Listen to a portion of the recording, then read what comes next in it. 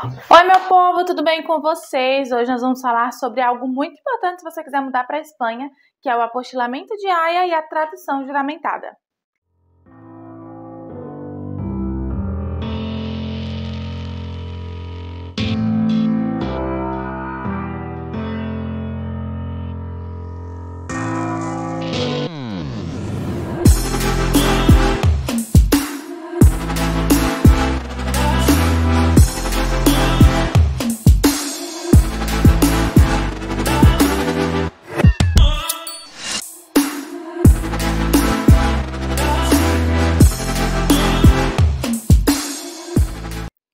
Você não me conhece, eu sou Marcela Mesquita, trago informações sobre a rotina aqui na Espanha e também dicas para te ajudar a mudar para cá com mais planejamento.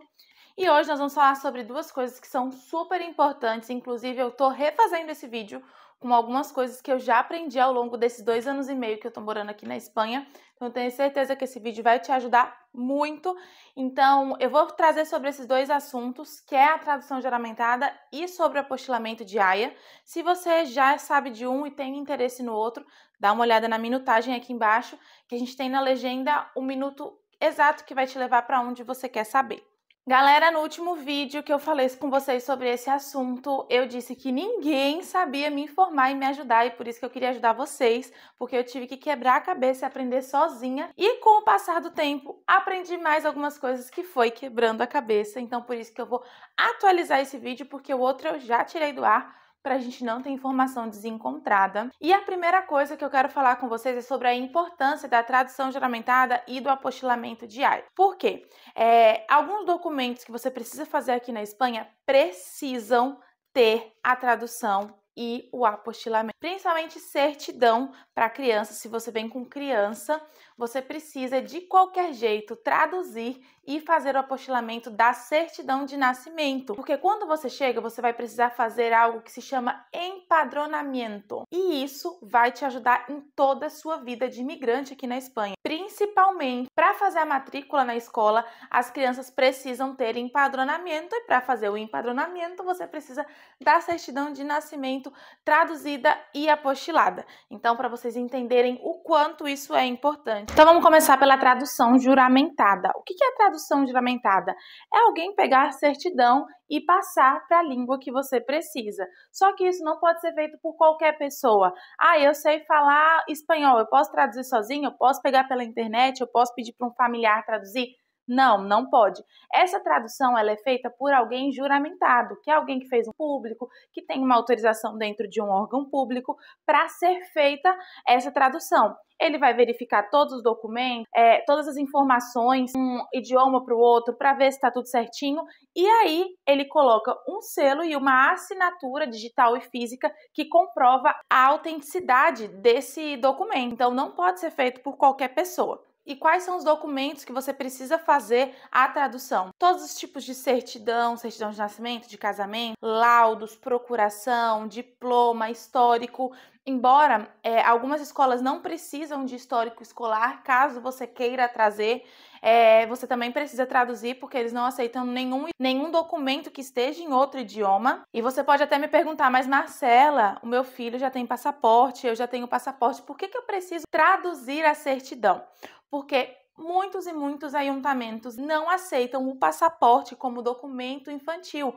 Mesmo que ali tenha em várias línguas, é, eles não aceitam. Eles precisam, junto do passaporte, ter a certidão de nascimento, parte de nascimento é, da criança. Então, embora seja assim, né?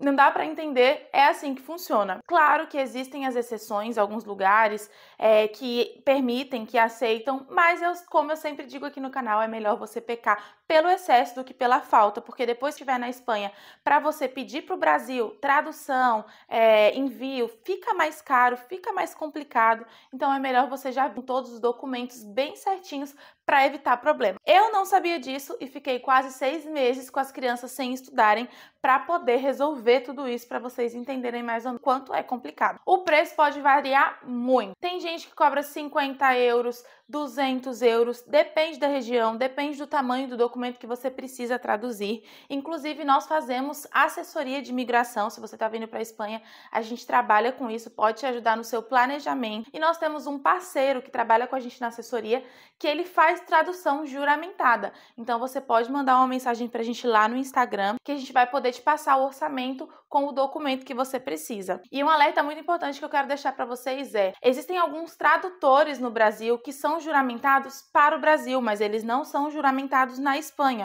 Então, para alguns processos, esse tradutor juramentado do Brasil não atua na Espanha. Então, eles podem não aceitar a sua tradução e você ter que fazer outra tradução e aí você vai perder dinheiro. Então, realmente, dinheiro e tempo, né? Então, realmente é bom você saber tudo direitinho para saber. Então, é bom você saber todos esses detalhes para na hora de você fazer a sua documentação. E antes da gente falar do apostilamento do selo de AIA, não esquece de ir aqui esse vídeo, se inscrever no canal e conhecer o nosso Instagram. E agora nós vamos para o selo de AIA, o apostilamento de AIA, que muitas vezes as pessoas quebram a cabeça de entender o que, que é isso, mas não é muito complicado. O selo de AIA, ele foi criado em uma convenção de países para diminuir a burocracia para ver a autenticidade de cada documento, por exemplo. No Brasil, a gente né, reconhece firme e tudo mais, assim que a gente sabe. Agora, imagina de um país para o outro, como é que você faz para poder organizar isso? Não tem como. Então, eles criaram isso para que você entregue o documento, a pessoa veja ali aquele apostilamento e fale: hum, esse documento realmente é válido e eu posso aceitar. É uma burocracia chatinha que você tem que fazer, mas depois de pronto já resolve bastante a sua vida. O apostilamento você consegue fazer em qualquer tabelionato ou cartório e o preço dele varia mais ou menos entre 100 reais. Vai variar de onde você mora, enfim, do cartório.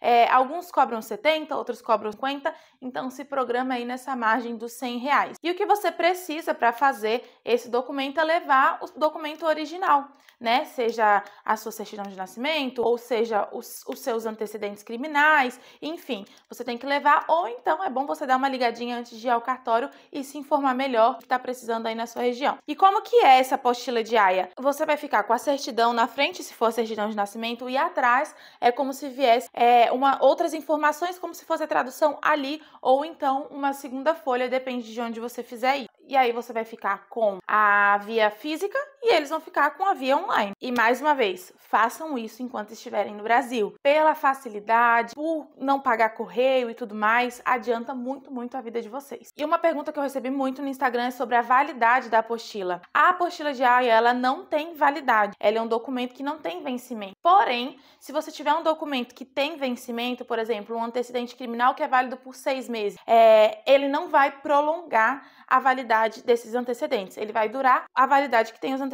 de seis meses. Agora, se é um documento, por exemplo, uma certidão de nascimento, ela não vai vencer. Você fazendo, ela vai durar aí para sempre. E a pergunta que eu mais recebo sobre esse assunto é: o que, que eu faço primeiro? O apostilamento de AIA ou a tradução? E a resposta é: primeiro faz a apostila e depois a tradução, tá bom? Se você gostou desse vídeo, tiver alguma dúvida, deixe comentários. É, conhece a gente também lá no Instagram, está precisando de ajuda, marque uma consultoria, nossa assessoria vai ajudar você nessa transição, tá bom? E não esqueçam do like, por favor, que para vocês não custa nada, mas para nós ajuda demais. Não esquece de compartilhar isso com alguém que você sabe que precisa organizar logo essa mudança de país, tá bom? Fiquem com Deus, até o próximo vídeo, tchau!